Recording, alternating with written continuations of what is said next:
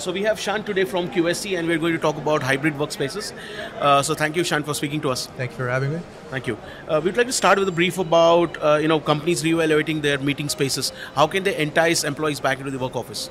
So, companies need to create flexible spaces and motivate employees in the office to promote spontaneous collaboration, engagement, and interaction. To do so, the design and configuration of meeting spaces takes a whole new meaning. The office is now the new offsite, and companies must adapt their collaboration spaces to ensure employees are effective and productive when they come to the office. So these spaces need to be equipped with modern technology for on site and remote participants to effectively collaborate. That means we need to remove friction for human interactions and create spaces where everyone can participate so new views and opinions can be heard. And this is where the high impact space comes in. Okay. So can you tell us about the high impact space? How can it uh, facilitate productivity and engagement? QSYS defines high impact spaces as rooms where end users must achieve substantial, well defined outcomes and are highly visible spaces such as the visible rooms, boardrooms, executive spaces, training rooms, and, and auditoriums.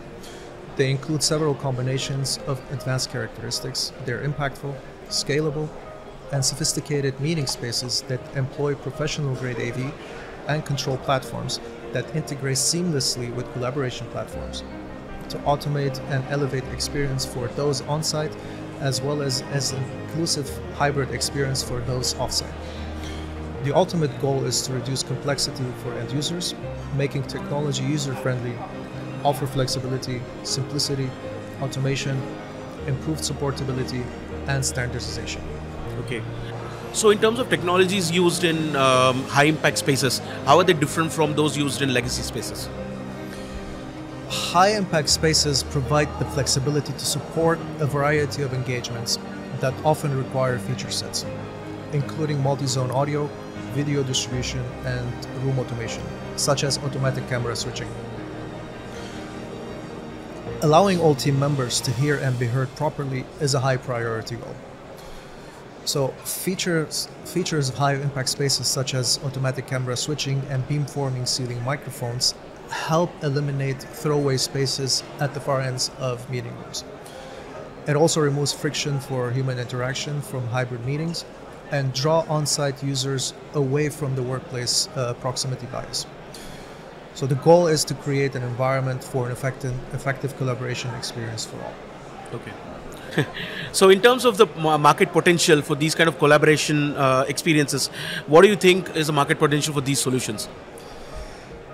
So Frost and Sullivan's research showed us that approximately two-thirds of organizations plan to modify their use of office spaces to accommodate high, uh, hybrid and uh, remote work.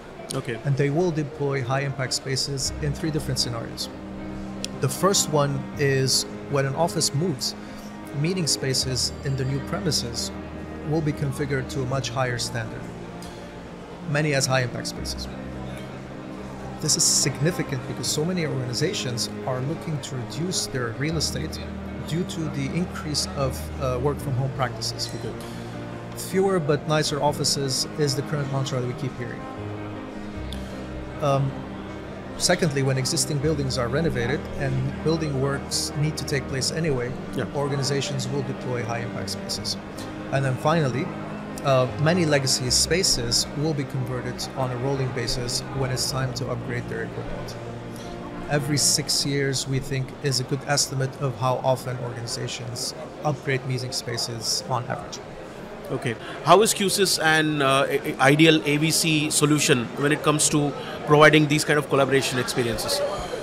So, QSYS is an open-based platform built on standard IT protocols. It includes audio, video, and control capabilities in one software-based foundation.